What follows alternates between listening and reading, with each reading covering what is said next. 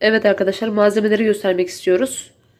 Palamutlarımızı güzelce yıkadık, temizledik. Zaten eşim e, balıkçıda güzelce kestirmiş. Tam kızartmalık. Kızartmalık. Ne büyük ne kestirdim. küçük. Filoto şeklinde. Ben e, fileto şeklinde değil mi bu? Tabii. Ben dilim dilim kestireceksin sanmıştım. Yok daha güzel kızarsın diye O şekilde de dağılıyor doğru. dağılıyor. Evet arkadaşlar bu şekilde fileto şeklinde kestirmiş.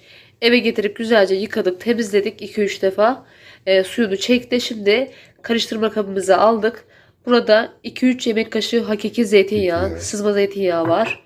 Burada bir diş sarımsak var. Fazla koymayacağız. Sadece tat vermesi için bir diş. Sonra burada da baharatlarımız var bakın.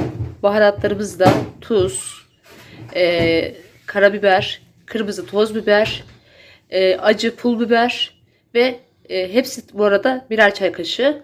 E, bir, e, bir de bir çay kaşığı en son söyleyeyim unutmadan